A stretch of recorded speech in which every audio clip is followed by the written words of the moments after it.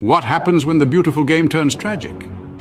In every corner of the globe, football, like a universal language, brings joy, unity, and a sense of belonging.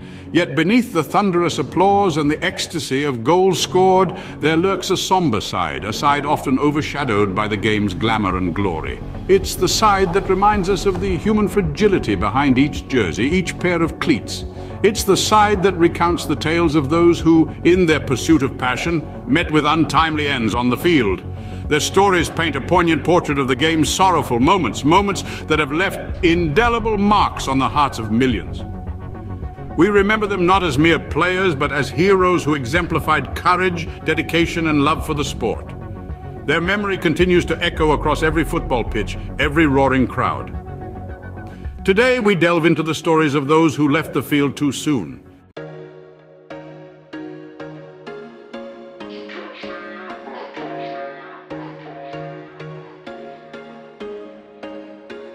Marc-Vivien Foé, a talent lost too soon.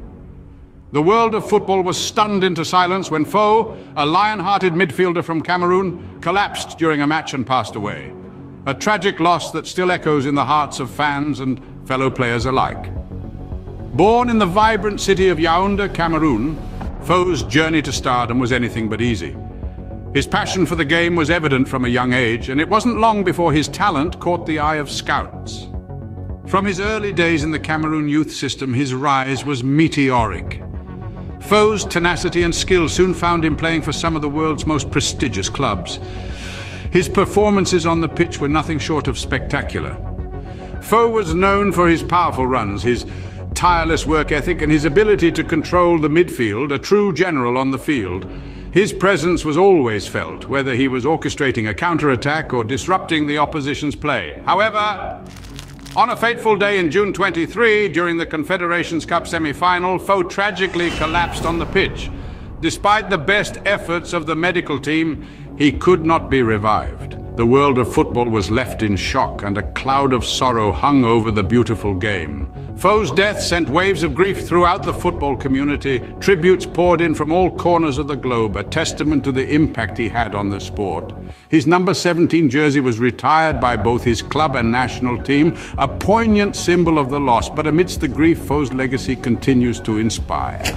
His passion, his drive, his love for the beautiful game lives on in the hearts of those he touched. His story continues to motivate young players, reminding them of the joy, the struggle, and the sheer beauty of football. Foé's legacy continues to touch hearts worldwide. His memory serves as a reminder of the fleeting nature of life, but also of the indomitable spirit of football, a sport that, like Foé, showcases the best of human resilience, passion, and love. Antonio Puerta, the heart of Sevilla, stopped beating on the field. In the beautiful Spanish city of Sevilla, a tale of passion and tragedy is woven into the fabric of its footballing history. Antonio Puerta, a local lad born and bred in Sevilla, was more than just a footballer. He was a symbol of the city's spirit, a beacon of hope, and an embodiment of the dreams of every young player in the region. Puerta's story is one of a boy who lived and breathed football, progressing through the ranks at Sevilla to become a beloved figure on the pitch. His silky skills, his indomitable spirit, and his love for the game made him a favorite among the fans. Yet his story is overshadowed by tragedy. At just 22 years old, Puerta collapsed on the pitch during a match, a moment that sent shockwaves through the world of football.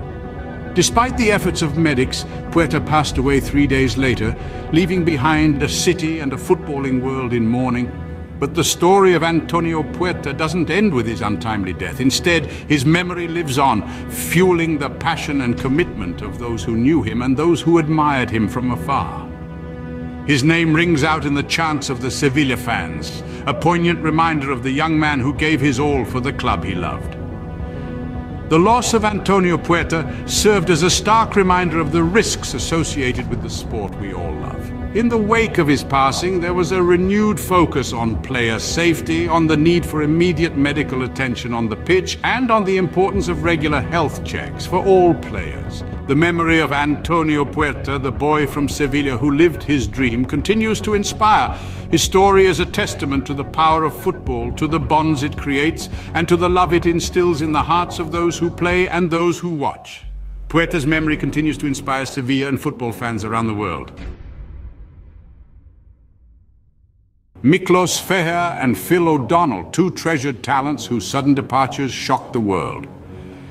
Miklós Fehér, a Hungarian striker known for his infectious smile and lethal finishing, was a joy to watch.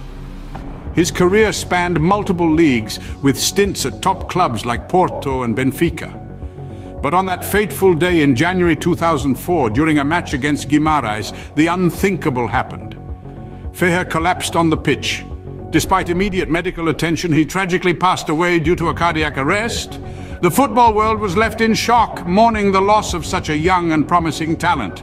Similarly, in Scotland, the tragic death of Phil O'Donnell sent ripples of sorrow across the football community. O'Donnell, a stalwart of the Scottish game, was a beloved figure at Motherwell Football Club. Known for his tenacity and leadership on the field, he had a career that spanned over two decades. However, in December 2007, during a match against Dundee United, O'Donnell collapsed on the pitch. His sudden death from heart failure was a devastating blow to the football world. The sudden and shocking departures of these cherished talents left a significant impact on the football community. Both players were in their prime, their careers cut short in the blink of an eye. Their tragic losses served as a stark reminder of the physical demands of the sport and the potential risks involved. But beyond the shock and sorrow, Fehér and O'Donnell's legacies live on. Their dedication to the beautiful game, their commitment to their teams, and the joy they brought to fans around the world will never be forgotten. They are remembered not only for their skill and talent on the pitch, but also for their sportsmanship, their passion, and their love for football. Fehér and O'Donnell's legacies remind us of the fleeting nature of life. And through their memory, they continue to inspire generations of footballers, reminding us of the importance of cherishing every moment, both on and off the pitch. In the wake of these tragedies, football has evolved. A sobering realization, yet one that inspires hope. The losses of Marc-Vivien Foé, Antonio Puerta, Miklós Fehér and Phil O'Donnell have not been in vain. They have catalyzed changes, leading to advancements in player safety and medical technology. The football world has learned hard lessons, but it is these lessons that have spurred progress. Imagine a time when a player's heartbeat was merely monitored by the rhythm of the game, when the panting breath was the only indicator of exhaustion. Now, we live in an era where every player is wired up, their vitals monitored in real time, ensuring that any abnormalities are flagged at the earliest. The introduction of defibrillators at every stadium is a significant development. These life-saving devices are now as common as corner flags, ready to be utilized at a moment's notice. This is a direct response to the heart-wrenching incidents that have occurred on the pitch, a proactive measure to prevent similar tragedies. Medical checkups have also become more stringent, with numerous tests conducted to certify a player's match fitness. These include stress tests, EKGs, and even genetic screenings aimed at detecting any underlying conditions that might pose a risk. The football organizations are not just promoting player well-being, they are championing it. The gravity of these losses has also seen a shift in the attitudes towards player workload and mental health. The culture of playing through the pain is being challenged, and the importance of rest and recovery is being recognized. Mental health, once a taboo subject, is now a critical component of player well-being, with clubs providing support and resources to their players. In the wake of these tragedies, football has evolved. It has grown, learned, and adapted. The beautiful game is now safer, more aware, and more compassionate. These advancements in player safety and medical technology, these shifts in attitudes, they all serve as a testament to the lives lost. These advances in safety measures serve as a testament to the lives lost.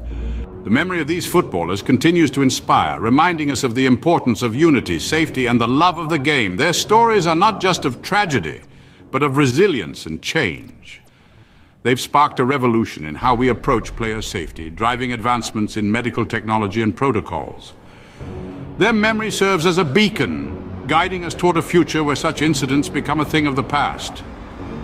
It's a future where every player steps onto the field knowing they're in the safest hands possible.